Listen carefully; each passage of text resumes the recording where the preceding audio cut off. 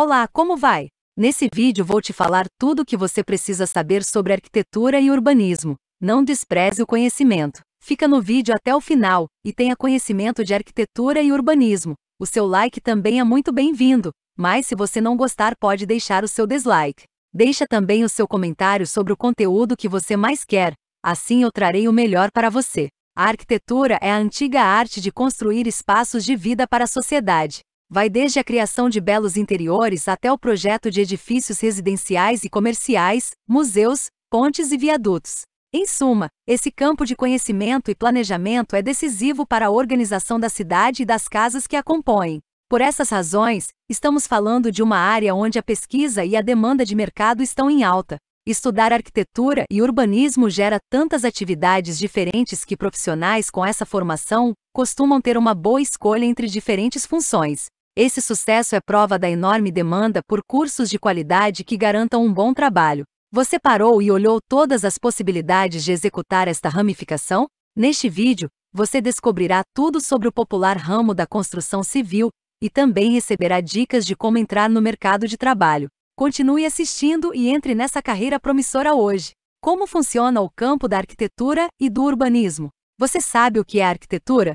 A arquitetura é uma das profissões mais importantes da história humana, pois envolve a arte de projetar e construir edifícios. Seu foco tem a ver com um dos problemas mais fundamentais da espécie, a necessidade de abrigo e o desejo de estar com outras pessoas. Os campos da arquitetura e do urbanismo trabalham para transformar o ambiente e atender às necessidades individuais ou coletivas. Por exemplo, os arquitetos podem projetar casas de campo para pessoas ricas ou podem participar da construção de metros para facilitar o transporte urbano em uma determinada cidade. Em ambos os casos, facilitou a transformação. Arquitetos são aqueles que têm que projetar e organizar inúmeros ambientes, sejam internos ou externos. Ele é responsável por projetar a planta baixa do apartamento ou determinar os melhores materiais para o processo de construção. Também requer a gestão dos processos econômicos e ambientais do trabalho para garantir sua eficácia. Algumas das realizações mais famosas do arquiteto são as praças, pontes e monumentos que ocupam o território urbano. Desta forma, permitem que a dimensão artística associada à criação das coisas flua, mas também contribuem para o bem coletivo. Se os arquitetos fizerem isso bem, a experiência geral de uma cidade melhora. Como você pode ver, a arquitetura é essencial para que as pessoas tenham boas condições de vida. Cada vez mais, o foco do Major deve abordar questões prementes em nosso mundo atual. Por exemplo, um arquiteto pode priorizar a saúde e o bem-estar de um determinado local. Em suma, este campo está diretamente relacionado à melhoria das condições de vida das pessoas. Pensar no que construir e como construir considera cuidadosamente os aspectos estéticos e psicológicos envolvidos. Tem que haver um equilíbrio entre o bom trabalho e o efeito que ele tem na psique. Os profissionais de arquitetura e urbanismo são mediadores relevantes na relação entre a sociedade e seu entorno. É sua tarefa organizar os espaços de forma eficiente para reduzir o impacto da cidade no meio ambiente. Um bom arquiteto nunca esquece de se preocupar com o mundo e as gerações futuras. A arquitetura também trabalha para definir ou modificar a aparência dos espaços urbanos. Portanto, interfere na identidade de uma região municipal, estadual ou nacional, e pode atrair turistas, turismo de fora. A arquitetura também permite um equilíbrio crucial entre passado e futuro. Por um lado, pode trabalhar para preservar as construções antigas e garantir a sobrevivência do patrimônio histórico-cultural e tradicional. Por outro lado, desenvolve oportunidades econômicas e cria empregos. Atualmente, ajuda a construir símbolos que muitas vezes influenciam a experiência de um morador ou visitante de um lugar. Como resultado, os profissionais da área encontraram um mercado amplo e dinâmico. Ele pode fazer o seu trabalho e ainda contribuir para a organização consciente dos espaços públicos. Como você pode ver, há muitas atrações na área, mas elas também são complexas. Por isso, é importante escolher uma universidade de qualidade que te prepare para atuar no mercado da melhor forma possível. Três ótimos lugares para estudar arquitetura e urbanismo são Pitágoras, Anhanguera e Unopar, todos parceiros do Vestibulares. Conforme está o mercado de arquitetura e urbanismo no Brasil? Agora que você conhece o trabalho nesse campo promissora, vamos passar para questões bastante concretas. O mercado de arquitetura e urbanismo no Brasil tem retomado aumento e se consolida conforme uma escolha excelente para ação de especialista no presente.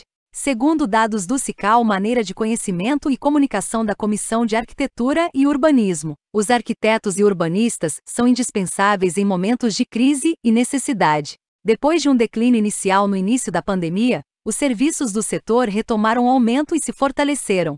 Esse aumento é muito consolidado e reflete uma demanda de tarefas continuada, que já existia desde antes da pandemia. Pense que, conforme a economia está ativa com obras e construções, os arquitetos e urbanistas são peça-chave na atividade da sociedade. Com o peso que as empreiteiras brasileiras possuem, é difícil que esse mercado encolha. Essa aparência traz uma certa confiança para quem decidir por esse campo, mas também aumenta a necessidade de optar por uma boa faculdade e caprichar nos estudos. Cabe recordar que um assunto essencial no Brasil atual é o choque ambiental das construções humanas. Falamos dos crimes ambientais de mineradoras e da delicadeza de certas edificações, mas também do próprio exemplar urbano usado pelas capitais brasileiras.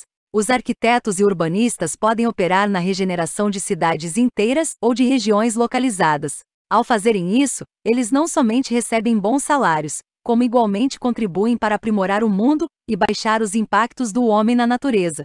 A relevância da profissão se reflete igualmente nas remunerações oferecidas para a área. O arquiteto urbanista, por exemplo, tem média salarial de reais 5.306, 18 asterisco. O teto salarial desse mesmo especialista pode alcançar a reais 13.059, 61 asterisco.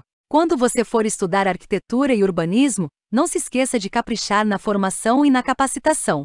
Se você tem incerteza na escolha da faculdade, opte por aquelas tradicionais e bem planejadas para oferecerem a melhor educação e lhe colocarem na direção certeiro. A Pitágoras, a Anhanguera e a Unopar preparam você para as melhores chances do mercado. Quais são as tendências para arquitetura e urbanismo? Em quase toda profissão da atualidade, o mercado está constantemente se transformando para apoiar novas demandas e procurar soluções melhores. Com a área de arquitetura e urbanismo não é diferente. Quem estiver interessado na área precisa permanecer por dentro do compasso de mudanças e das oportunidades e dos desafios que isso gera. Para você encontrar o que te espera na arquitetura do presente e do futuro, vamos trabalhar com duas das suas tendências principais no globo de hoje. A primeira delas está ligada ao uso de tecnologias, e a segunda, aos materiais sustentáveis. Novas tecnologias. Uma causa essencial para o sucesso da profissão de arquitetura e urbanismo é a destreza que ela tem para reagir às novidades das tecnologias. Ao estudar nas melhores faculdades, o aluno vai compreender a realidade de programas e processos digitais que otimizam o planejamento dos espaços. Após adquirir o diploma, o especialista da área vai achar um cenário muito amadurecido em termos de tecnologia. Esse estado adiantado diz respeito não somente aos softwares e às máquinas que auxiliam no dia a dia do trabalho, mas também a categorias mais amplas de compreensão computacional. Falamos do ramo relacionado às casas inteligentes e à inteligência artificial, algo que gera grande interesse no presente do mercado. É essencial que as profissões do futuro possam mensurar de que maneira as invenções da ciência podem ajudar no rearranjo da vida humana. A área de arquitetura e urbanismo adquire grande importância nessa conjuntura, porque ela é uma das grandes definidoras dos espaços de existência da atualidade. Pense, por exemplo, nas iluminações de postes automáticas, nas medições dos fluxos de pessoas e nos recursos eletrônicos aliados a ambientes arquitetônicos. Em resumo, o futuro das cidades e das casas não está relacionado exclusivamente àquilo que conhecemos como dimensão físico. O que está em jogo é a incorporação com o digital e as possibilidades e os desafios que isso traz. Sustentabilidade. Quanto à sustentabilidade, ela merece um ressalto exclusivo nessa situação da história humana. Todos já leram ou ouviram dizer que o planeta Terra não suporta o padrão de crescimento do capitalismo moderno. Ele coloca em risco não somente o presente da sociedade, como também as vidas das gerações futuras. A arquitetura é uma área de competência estratégico para pensar uma forma de viver mais próxima do ritmo da natureza. Já existem muitos exemplos de casa que são desenhadas com a matéria reciclável. Há também construções antigas que vão se adaptando às novas possibilidades. Toda a discussão do transporte urbano, por referência, passa pela área de arquitetura e urbanismo.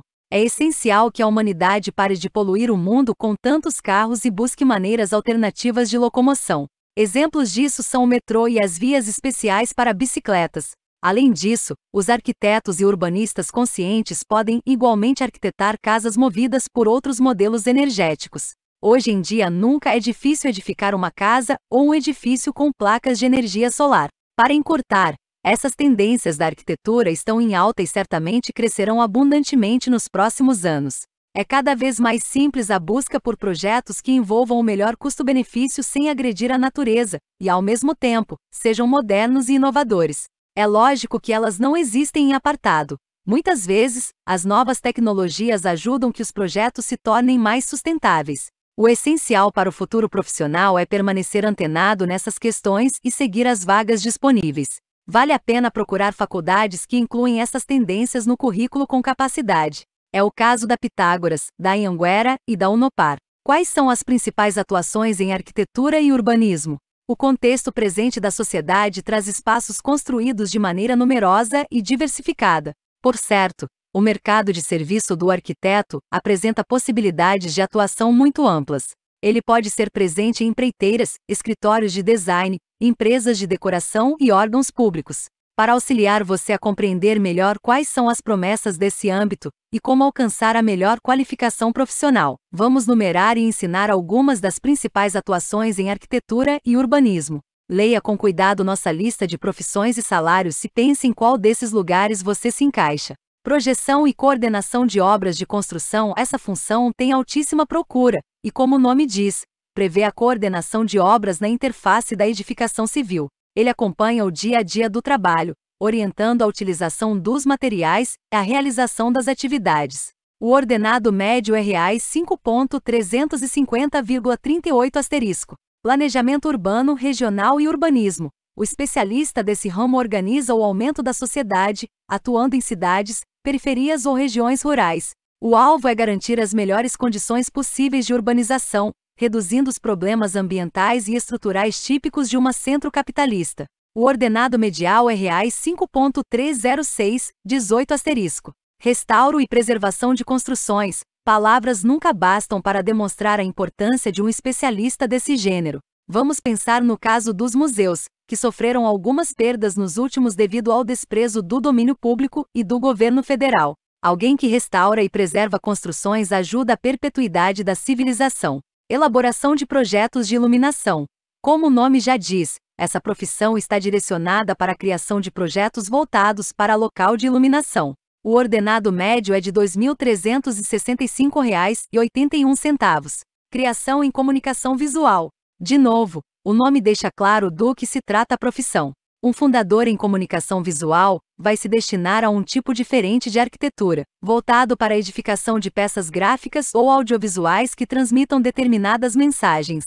O ordenado médio é de R$ 2.943,96. Paisagismo. Esse ramo interessantíssimo da arquitetura está relacionado à concepção e realização de paisagens em lugares variados. O caso mais característico é possivelmente a gestão de um grande e belo jardim, com a classificação das plantas e das pedras, para se atingir o maior efeito de boniteza. O ordenado médio é de R$ 3.556,16. Design de interiores. O designer de interiores faz uso de técnicas especializadas para arranjar e enfeitar ambientes internos, como shoppings ou restaurantes. Ele vai organizar espaços determinados para garantir o máximo de estabilidade e eficácia em cada um deles. O ordenado médio é de R$ 2.090,42. Desenvolvimento de projetos sustentáveis, arquitetura verde. Esse ramo está predominantemente voltado para a tendência de sustentabilidade, uma das mais importantes da arquitetura hoje em dia. Desenvolvimento de planos diretores. A obrigação do profissional desse ramo é imenso, porque ele não somente define as possibilidades de uso da cidade, como também afeta o futuro dos moradores. Aspectos importantes a serem considerados hoje são a injustiça social e os impactos no meio ambiente. O ordenado médio é de R$ 5.306,18. Como começar no mercado de arquitetura e urbanismo? Para começar no mercado de arquitetura e urbanismo, o primeiro passo é estudar em uma boa faculdade e se capacitar. Já falamos de alguns locais certificados, com garantia de bom custo e excelente formação: Pitágoras, Anhanguera, Unopar. Agora, vamos conversar brevemente sobre as principais habilidades e competências necessárias para contribuir no mercado de arquitetura e urbanismo. Conforme você confere, não se esqueça que os melhores cursos estão constantemente preparados para fortificar o seu perfil profissional e te auxiliar a aprimorar seus pontos fracos. Saber desenhar. Essa é a primeira e provavelmente a essencial atividade de um arquiteto. Para se dar bem no ramo, é imprescindível que você saiba elaborar projetos por meio de desenhos, porque eles servem de guia para o incremento do trabalho. Esse desenho, é claro, por ser feito de maneira manual ou digital. Hoje em dia, existem muitos programas que facilitam e agilizam o ofício do arquiteto ao suscitar dinâmicas de desenho pré-moduladas. Em todo caso, uma advertência é que você não abra mão de aperfeiçoar os traços manuais. Agora, se você não se acha um desenhista habilidoso, não é desculpa para esmorecer. Essa capacidade pode e deve ser aprendida durante a graduação, porque está entre as técnicas básicas da experiência profissional de arquitetura. Gostar de exatas. Você pode conjecturar a quantidade de cálculos que é necessária para arranjar os tijolos de um edifício sem risco de que tudo desmorone?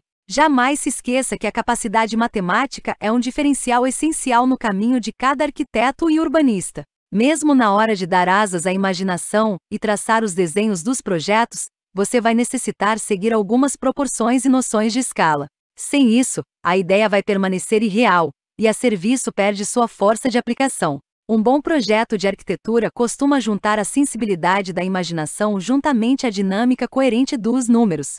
Treine o pensamento lógico e não deixe de praticar os seus conhecimentos de cálculo. Criatividade. Quando você vê uma edificação bonita e bem feita, é claro que existe um grande domínio de criatividade por trás daquele edifício. Foi uma criatura como você que um dia sonhou em criar arquitetura e, após aprender as técnicas, projetou aquela obra especial. Nem sempre uma edificação precisa ter aparência genial, mas ainda assim a criatividade é uma capacidade importante. O especialista do ramo deve ser apto a realizar soluções interessantes para as mais variadas demandas. Gostar de tecnologias. Se uma das principais tendências da arquitetura é a associação com as novas tecnologias, logo fica claro a importância de saber mexer com elas. O apetite pelas tecnologias pode auxiliar o graduando de arquitetura a encontrar coisas novas e a ficar atualizado no mercado. Uma vez que o mercado está constantemente em mudança, um bom perfil para o ramo deve envolver um apetite por tecnologias. É claro que não precisa ser uma compulsão, mas pelo menos um interesse e uma agilidade de uso. Ser detalhista. Qual pedra combina com aquela? Qual cor fica mais bonita aqui? Qual material deve ser usado na frente desta edificação? Qualquer projeto de arquitetura demanda que o especialista preste muito cuidado aos detalhes. É a semelhança entre os componentes menores que vai trazer a impressão geral de um ambiente. Capacidade de organização. Saber se organizar é capacidade básica para qualquer profissão, e na arquitetura não é diferente. Um especialista com essa vocação consegue arrumar melhor os fluxos de trabalho e ajudar para o bom curso das coisas. Capriche constantemente no seu crescimento pessoal. Interação transdisciplinar, por ficar voltada para muitos lugares distintos. A arquitetura pode se proporcionar de pessoas que sabem andar entre campos de competência diferentes. Muitas das soluções encontradas devem unir técnicas de setores distintos. Vale repetir o mérito de estudar em uma faculdade de superioridade, porque são os anos passados ali que vão decidir o seu futuro profissional. Pesquise as melhores oportunidades e jamais se esqueça de confirmar como ganhar redução em faculdade particular. As formas de entrar na Anhanguera, na Pitágoras e na Unopar são diversificadas, facilitando a entrada em qualquer época. Além do vestibular online e do vestibular clássico, você pode entrar com a nota do Enem ou pedir a transferência externa. Agora é com você! Viu só porque a arquitetura é um campo interessante e que traz muitas oportunidades para aquele que estuda? Ao estudar esse curso, você aprende a realizar uma atividade essencial para toda a sociedade, além de entrar no mercado com muitas vagas de trabalho e boas remunerações. Lembre-se de que é essencial valorizar a educação superior e decidir por uma graduação de qualidade, como aquelas que mencionamos aqui. Além de uma boa infraestrutura e um corpo docente qualificado, essas instituições oferecem diversos diferenciais e acompanham todo o seu crescimento profissional. Não deixe de comentar o que você achou desse conteúdo.